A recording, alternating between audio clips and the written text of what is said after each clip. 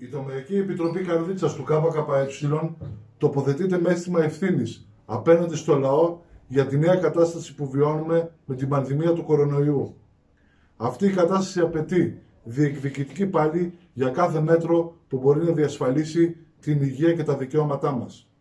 Γιατί τεράστιες ελλείψεις στα δημόσια νοσοκομεία και στα κέντρα υγείας της χώρας είναι η σκληρή πραγματικότητα που βιώνουμε χρόνια τώρα στην περιοχή μας και που, που σήμερα γίνεται αμήλικτη αν δεν σταθούμε απέναντι αγωνιστικά. Μπορεί ο κορονοϊός να είναι ένας αόρατος εχθρός, όμως για τα λαϊκά στρώματα δεν μπορεί να κρυφτεί ο ορατός εχθρός, η βασική αιτία που δεν είναι άλλη από την εμπορευματοποίηση του κοινωνικού αγαθού της υγείας, πράγμα που εκφράζεται με τη διαχρονική απαξίωση του δημοσίου συστήματος υγείας. Γι' αυτό και η συλλογική ευθύνη του κράτους δεν μπορεί να υποκατασταθεί από τη λεγόμενη ατομική ευθύνη, την οποία μονίμως επικαλείται η κυβέρνηση, προσπαθώντας να κρύψει το αληθινό εχθρό, την ανθυγινή αντιλαϊκή πολιτική, που ακολουθήθηκε όλα τα περασμένα χρόνια από τις ελληνικές κυβερνήσεις με βάση τις κατευθύνσεις της Ευρωπαϊκής Ένωσης.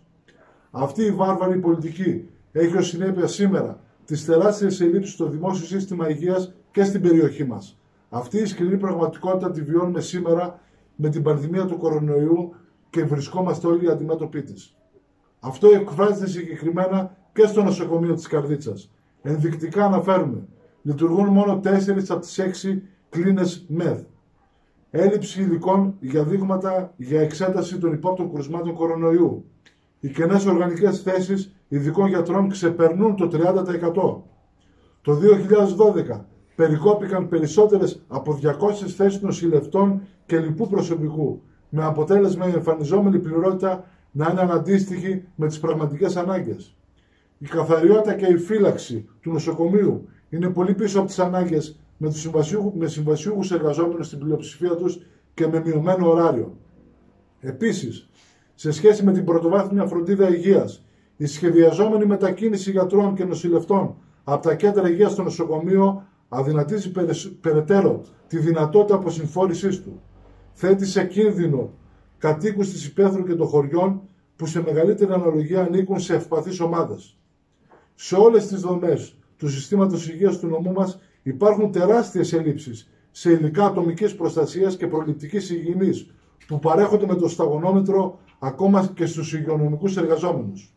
Απαιτούμε, πρώτον, να λειτουργήσουν όλες οι, όλες οι κλειστές κλίνες ΜΕΔ.